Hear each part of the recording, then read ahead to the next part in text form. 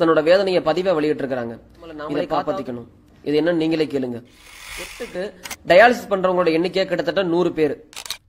ஒரு ஹாஸ்பிட்டல்ல ஒரு நாளைக்கு நானூறு பேர் டயாலிசிஸ் பண்றாங்க. மொத்தமா எத்தனை பேத்துக்கு கிட்னி பாதிப்பு இருக்குன்னு நீங்களே கணக்கு போட்டுக்கோங்க. ஒரு டயாலிசிஸ் வாரம் ரெண்டு இல்லாட்டி மூணு தடவை அதை பண்ண வேண்டியது இருக்கும். அப்ப ஆயில் பூராம்னா என்ன? சரி டயாலிசிஸ் பண்ண வரவங்களுக்கு எல்லாம் வயசு என்ன இருக்கும்னு நினைக்கிறீங்க? அஞ்சு வயசு குழந்தையில இருந்து பிளஸ் டூக்கு எக்ஸாம் எழுத போற பையன். எந்த வயசு வித்தியாசமுமே இல்லாம எல்லாருமே இந்த கிட்னி பாதிப்புக்குள்ளா இருக்கிறாங்க. பிளஸ் டூ படிக்கிற பையன் டயாலிசிஸ் பண்ணிட்டு எக்ஸாம் எழுத போறான். என்கிட்ட அக்கா நான் ஆயிரத்துக்கு மேல கண்டிப்பா மார்க் வாங்குன்னு சொல்லிட்டு போறான். இந்த பையனுக்கு இப்படி கிட்னி ஃபெயிலியர் அவங்க அம்மா கிட்ட கேட்டேன். சின்ன வயசுல இருந்தே அதிகமான மாத்திரை கொடுத்துருக்காங்க. காய்ச்சல் ஆஸ்துமான்னு சொல்லி எதுவுமே பார்க்காம எல்லாத்துக்குமே மாத்திரை கொடுத்து வச்சிருக்காங்க. அதே மாதிரி ஒரு காலேஜ் பேராசிரியர். ஒரு பெண்ணை கல்யாணம் ஆகி அஞ்சு வயசு பையன் இருக்கான்.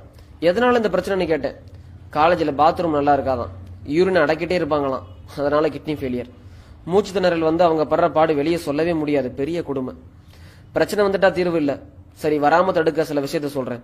தயவு செஞ்சு இதை எல்லாரும் ஃபாலோ பண்ணுங்க. எப்பயுமே சிறுநீரையோ மலத்தையோ அடக்கவே அடக்காதீங்க. தாகம் எப்பெல்லாம் எடுக்குதோ அப்பெல்லாம் தண்ணி குடிங்க. பசிச்சா மட்டும் சாப்பாடு எடுத்துக்கோங்க. உங்களோட சாப்பாடை உமிழ்நீரோட சேர்த்து நல்ல வாயை மூடி மென்னு சாப்பிடுங்க. கடையில் விற்கிற பாக்கெட் அயோடின் உப்பை தயவு செஞ்சு யூஸ் பண்ணவே பண்ணாதீங்க.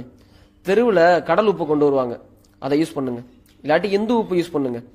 பிஸ்கட்டு பாக்கெட்டில் அடைச்சது கூல்ட்ரிங்க்ஸ்னு எதையுமே தயவு செஞ்சு அறவே தவிர்த்துடுங்க.